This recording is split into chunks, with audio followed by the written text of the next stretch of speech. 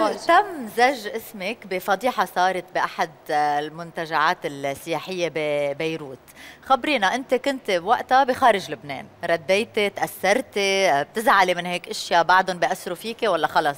يعني هي للمرة الثانية بسمعها. عملت حالي مش سامعة كمان. ما بتردي. تفاجأت إنه إنه عن جد اتركوني بحالي. يعني حتى أنا ومش بلبنان جايبين عم تحطوا لي اسمي ب ما بعرف تفاجأت. حتى التعليقات ليال عبود كاتبين تحت إنه لام عين. يعني مين غيري انه مين غيري بده يكون لام عين يعني؟ طب شو بتقولي لهم هلا؟ لهون الناس اللي يمكن بكفي ولا عرفتوني عن جد بكفي. عيب عيب. أي حدا بده ينشهر بده يطلع يحكي عن ليلى عبود بده يعمل سكوبات. لا الجد الجدل والنقاش ومدري شو ما ب- خلصوني. خلص يا turn that chapter. خلص بقى. خلص بقى. سيبوها للبنت بقى؟ إيه والله عيب.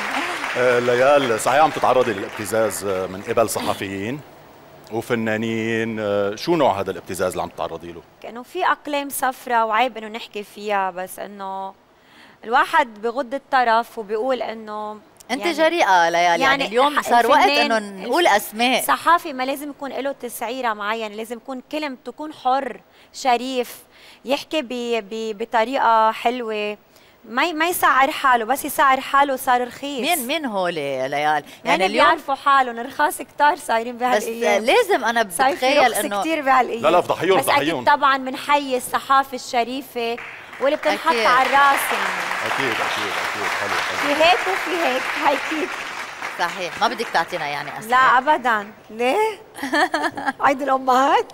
ليال كم مرة انعرضت عليكي أموال هدايا مقابل غايات مشبوهة؟ غايات مشبوهة إيه، لا أنتوا عن سؤال جريء. بال بس لأنك جريئة. حساسة لأنه لأنه أنا كثير جريئة بقول إنه كل إنسان آه، يعني كل فنان بيتعرض لكثير مغريات بالحياة هو بيختار شو بده يكون هو بيختار الخط اللي بده إياه بس أنت كفنانة حلوة إيه أكيد يعني أكيد انعرض أنا عليكي تعرضت هيك. لكثير آه، تعرضت لكثير مضايقات وكثير آه، قصص وكثير إخبار بس ما بصح غير الصحيح بالنهاية.